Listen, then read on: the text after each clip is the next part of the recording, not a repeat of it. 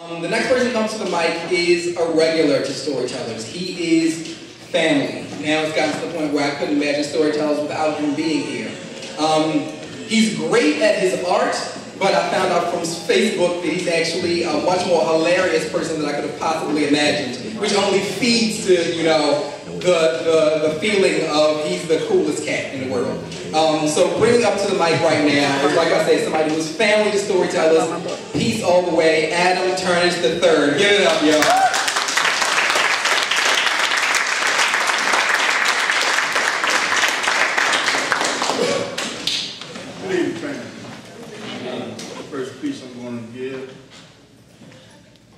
is called Encounter, no, Meeting with the Enemy.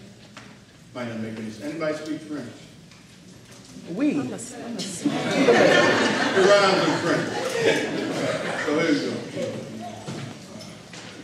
Au milieu de la nuit, j'entends le bruit qui arrête le douceur de mon rêve.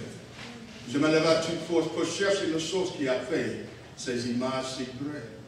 Au coin de ma chambre, un spectre d'ombre approche avec toute vitesse. Mon échec impossible est vraiment terrible. Je dois batailler sans cesse.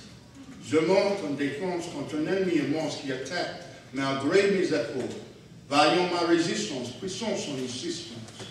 Jamais il n'y passe de ce saut. Ma lutte inutile, mon corps immobile. Je dis avec beaucoup de chagrin, qui êtes-vous, qui êtes-vous, et pourquoi luttons-nous?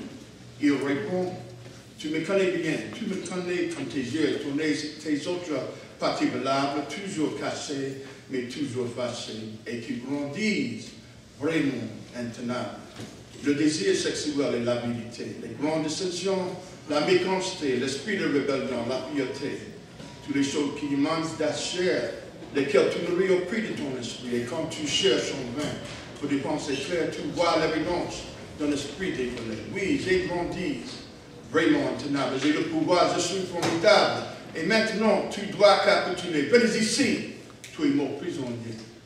Au même instant qu'il me saisit, je me réveille, je suis encore au lit. Je me suis senti très soulagé, mon danger présent est loin de passer. Grande vérité que j'ai appris cette fois, le plus grand ennemi de moi était moi. In the middle of the night, I hear noise that stops the sweetness of my dream. I get a force me to look for the source that made these images so brief in the corner of my room.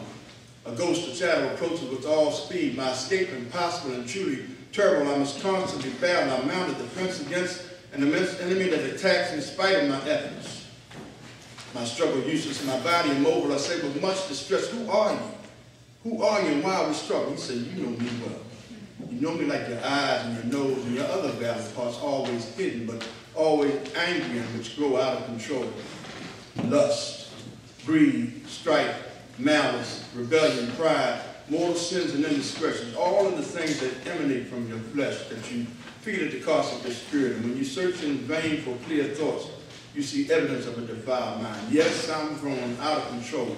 I'm awesome. I have the power. And now come here. You're my prisoner.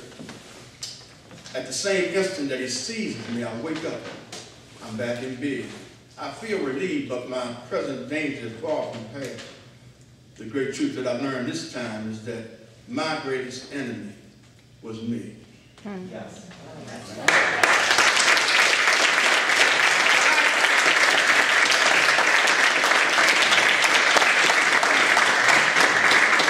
The second piece I will dedicate to the camera ladies. Uh, we do Facebook a lot, and she made a stats report that I, I thought something was going on so I need to send this out to her to encourage her.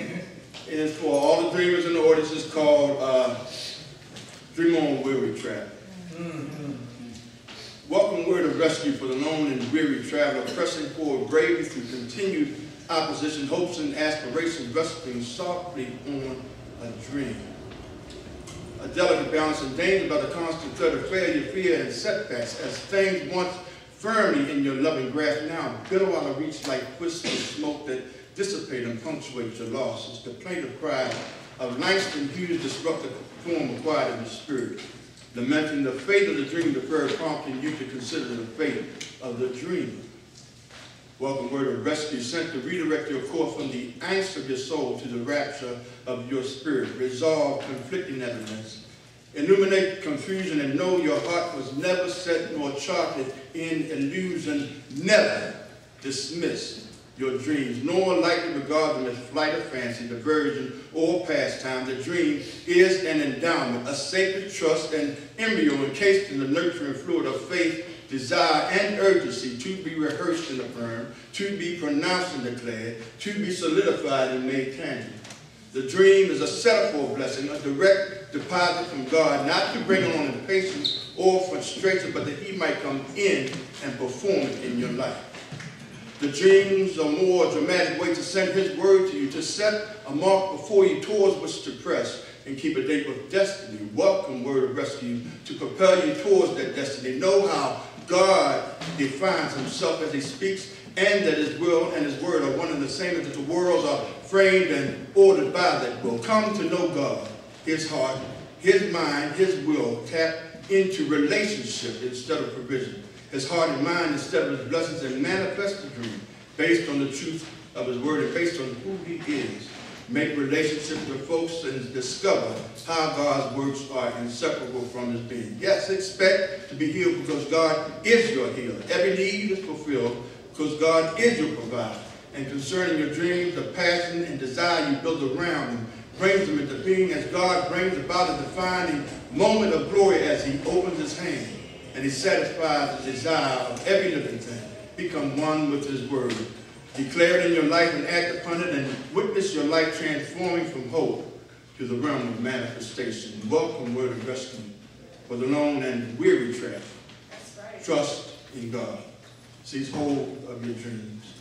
Head towards the mark. And dream on, weary traveler. Dream on.